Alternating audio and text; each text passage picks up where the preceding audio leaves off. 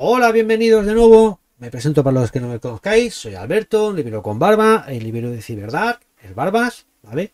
Y bueno, pues hoy toca reseña y hoy os vengo a hablar de La montaña en el mar de Ray Naylor, editado por Nova Editorial, ¿de acuerdo? Ray Naylor es biólogo marino y ha trabajado durante media vida para el Servicio Exterior del Cuerpo de Paz de Estados Unidos.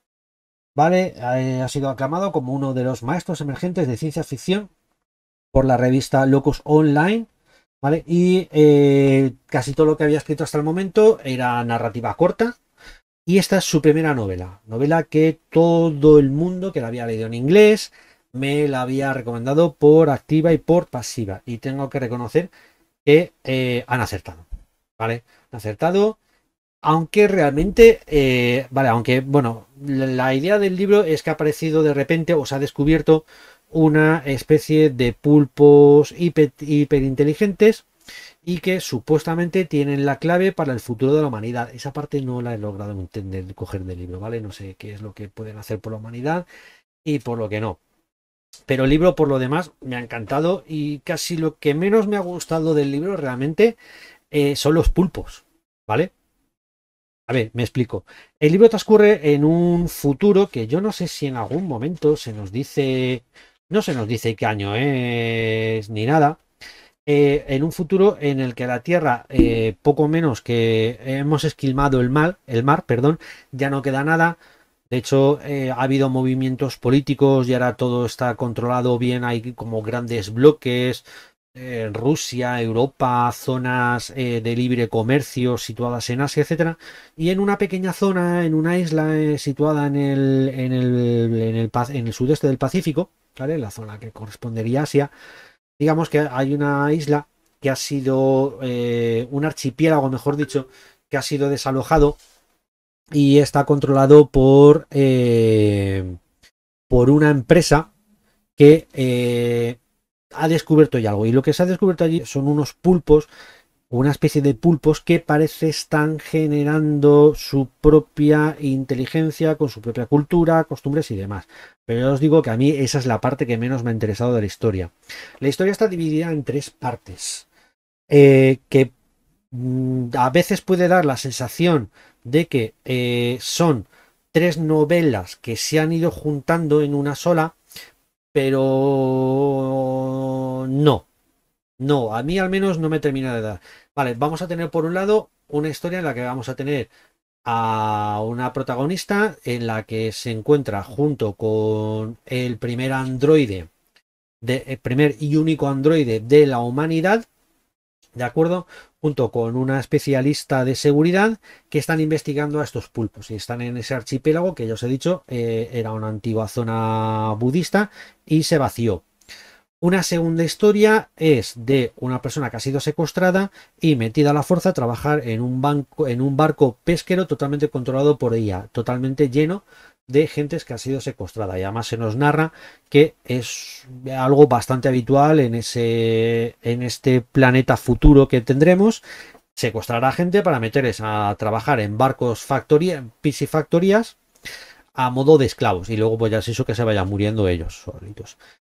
Y una tercera historia la es la de un hacker, el mejor hacker del mundo, supuestamente, que es contratado para hackear una inteligencia artificial. ¿De acuerdo? Bien, pues a partir de ahí lo que vamos a ir teniendo es todo un cuadro enorme que además eh, eh, está bastante, eh, aunque, no, aunque lo parece, pero no, está desordenado temporalmente en gran parte hay momentos que transcurren a la vez, pero por ejemplo la historia del pesquero es cierto que transcurre, lleva bastante tiempo, pero luego al final se acaban uniendo todas. ¿eh? A mí me dio la sensación de que no se van a unir todas y también os digo una cosa, me daba lo mismo que no se unieran. ¿eh? O sea, me, parecía que funcionaban estupendamente las tres y si no se llegan a unir, a mí me la suda completamente. Pero lo que verdaderamente me ha gustado de, de la novela, de la historia, ya os digo, no es el tema de los pulpos, ¿vale? Porque, por ejemplo, a mí me, gusta más el, tratamiento que da una civilización de pulpos, eh, Tchaikovsky, en Herederos del Caos, ¿vale? También porque no la presenta más avanzada, aquí los pulpos que nos presentan son más primitivos, podrían acercarse, digamos, cultural y sociológicamente a los neandertales nuestros, ¿de acuerdo? Para que os hagáis una idea. Pero eh, sí me ha gustado más todo lo que es el tema eh, de, de hacia lo que avanzamos, de las inteligencias artificiales, de la creación de vida artificial a través de estas inteligencias artificiales, de cómo sería, cómo se desarrollaría, cómo sería la recepción por parte de la humanidad, eh, cómo se llegaron a utilizar y en algunos momentos incluso las relaciones que se podrían llegar a establecer entre humano e inteligencia artificial a la hora de la supervivencia mutua o de la esclavización de unos hacia los otros, ¿vale? Porque no tiene por qué ser que el humano esclavice a la, a la, a la inteligencia artificial. En el caso, por ejemplo, del pesquero, tenemos una relación completamente contraria, ¿vale? Es una inteligencia artificial la que controla el barco y que eh, eh, cuando suceden determinados hechos, digamos que esclaviza aún más todavía a los, a los humanos que habitan el barco. O, por ejemplo, la relación que se establece a nivel personal, pero también a la vez nos la va tratando a nivel filosófico entre esta investigadora de que va a esta isla para, para investigar estos pulpos con ese primer androide que a la vez es muy humano porque es, por fuera es un humano perfecto pero a la vez no deja de ser totalmente alienígena al ser una especie eh, totalmente nueva, además nacida a partir de los humanos y que por culpa de las leyes en ese momento ya no se podrá replicar nunca más. Y eh, digamos los lazos que estos dos a su vez establecen con, con los pulpos. ¿Vale? Por toda la idea, digamos que les vendría a todos a, a, rodear, de que es una especie establecida, una superespecie creada por nosotros y que en algún momento nos podría llegar a sustituir, y una nueva especie que hemos descubierto que está empezando a dar sus primeros pasos como sociedad inteligente. ¿De acuerdo? Entonces se acaba estableciendo ahí, digamos, luego incluso aparece un personaje más importante que no os lo voy a comentar por no, no destriparos, que digamos hace que todavía eh, esos lazos, ya os digo, pero sobre todo filosóficos a la hora de, establecer comparaciones, de, de cómo nos vemos los unos a los otros, o cómo nos ven ellos a nosotros, y cómo el androide nos ve a nosotros, nos trata, eh, y cómo nosotros le tratamos a él, eh, se intensifiquen todavía más al, añadir un elemento todavía más disruptor, ¿vale? Porque digamos que esta cuarta persona que entra en esta, en esta segunda historia es totalmente disruptora. Y luego, por otro lado, tenemos la historia del hacker, ¿vale? Donde eh, es... Eh, ahí lo que vemos es como una persona totalmente acostumbrada a trabajar para otros, eh, se desenvuelve en este mundo tan extraño y luego realmente al final acaba eh, queriendo salirse de este mundo donde eh, hasta la belleza más pura y la creación más pura siempre es intentada, siempre se intenta utilizarla para fines que no fueron concebidos e incluso para volverla en, contra de ciertas partes de la humanidad, convirtiéndola en, un arma. Ya os digo, todo ello acaba confluyendo perfectamente en un final, además muy, muy satisfactorio, ¿vale? Muy satisfactorio porque al final realmente tampoco eh, acaba resolviendo nada, acaba resolviendo estas tres historias que ya os comento. Eh, lo de los pulpos, a mí, yo creo que para mí, a mí me, ha resultado realmente anecdótico en el libro. Era. molaba cuando, mola cuando salen, mola ver las interacciones, mola ver lo que están. La sociedad que están creando los pulpos, pero realmente me estaba resultando anecdótico y lo que más me, estaba interesando era este mundo creado alrededor eh, de, relaciones entre humanos, eh, IAS y todo el.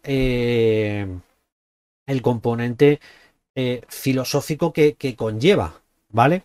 O sea, digamos, podríamos, a ver, no, no llega a ser una obra de, de Bauman, pero, pero bueno, pero en algunos momentos se llega a poner muy, muy, muy, muy filosófica y da mucho que pensar, sobre todo ahora además que estamos viendo todo el desarrollo que están surgiendo con las IAS, ChatGPT, las creaciones artísticas por parte de IAS, que aunque bueno, aunque intervengan los humanos, pero no dejan de ser muchas veces mm, creaciones a partir de dos, tres ideas que nosotros le damos, ya es la IA la que la acaba desarrollando todo. Entonces, yo os digo, a mí me ha, resultado muy satisfactorio. Lo único, quizás ya os digo, si alguien se, se acerca al libro esperando que esto sea una una batalla entre humanos y pulpos ahí a lo película de Asylum, eh, olvidaos, esto es ciencia ficción reflexiva para pensar. En algunos momentos se acerca un poco a la ciencia ficción dura, ¿vale? O sea, tiene mucha, tiene mucha ciencia también por, detrás, mucha biología, pero eh, realmente lo que os vais a encontrar es un libro que ayuda a reflexionar mucho sobre un camino que hemos emprendido hace muy poco, como es el del desarrollo de las inteligencias artificiales, y que no terminamos todavía de saber hacia dónde nos va a llevar. Tenemos ahora mismo personas que nos están diciendo que esto es peligroso y que hay que dejarlo y hay que apagarlas. Tenemos otras personas que nos dicen que es lo mejor que nos va a ocurrir, que nos va a solucionar todos los males, ¿vale? Que nos va a curar incluso hasta la calvicie y nos va a hacer inmortales. Y bueno, está bien que existan obras como esta La montaña en el mar para ayudarnos a lo que hace la ciencia ficción, que es plantarnos delante de un espejo para que pensemos mirando en un futuro en el presente el que estamos creando, ¿de acuerdo? Así que, pues bueno, si buscáis algo de ciencia ficción reflexiva, ya os lo digo, yo os lo recomiendo completamente porque a mí me ha parecido un señor librazo. Y bueno, pues eso es todo. Muchas gracias por haber llegado hasta el final del vídeo. Ya sabéis, os ha gustado, darle like, suscribíos, compartir y todas esas cosas que se suelen hacer. Adiós.